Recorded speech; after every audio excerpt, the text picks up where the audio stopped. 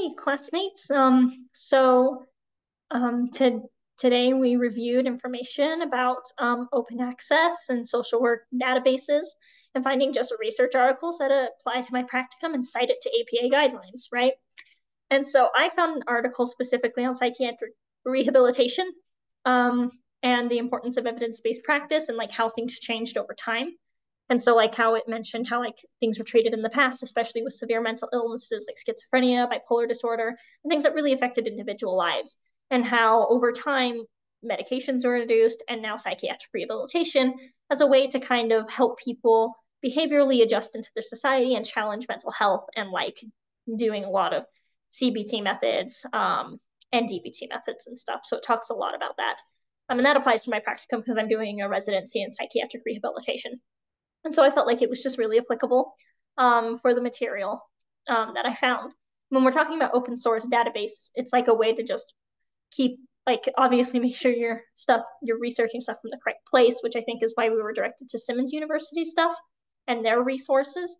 Um, but one of the things that I find most helpful with evidence-based practice is it keeps you kind of current and keeps your knowledge current of the area that you're treating, especially when it comes to mental health or other kind of um, challenges in regards to mental health arena and how we can accurately challenge those and help people move through and retrain their brain and how to assess, process information and react to that information as it comes in. Um, and so that's kind of um, why I think that it's important. Um, if we didn't use any evidence-based practices and if we didn't challenge what we already knew back then, we'd still be doing terrible treatments like um, like electroshock therapy, um, um, and therapy that, um, and like locking people up in asylums, therapy that was generally harmful for people. And so, um, and so that's kind of why I think that it's important to maintain current on our knowledge.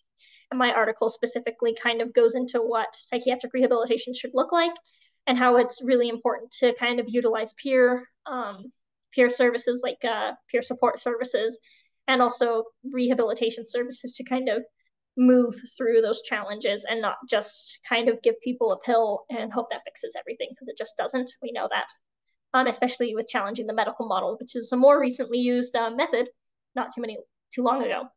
And this really is important to me because I remember um, when I was working at a religious um, therapy um, area. Um, I wasn't obviously doing therapy. I was just a clerk there and doing secretary work.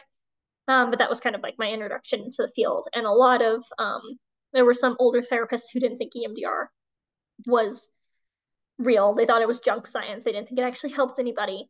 And it's really important to use evidence based practice to teach people new methods. Um, just because you did it the old way doesn't mean that the new way is invalid. And it doesn't mean it's not going to help people more than just CBT, generic CBT. Um, and especially because CBT doesn't necessarily always focus on um, diagnosing trauma and like assessing that trauma.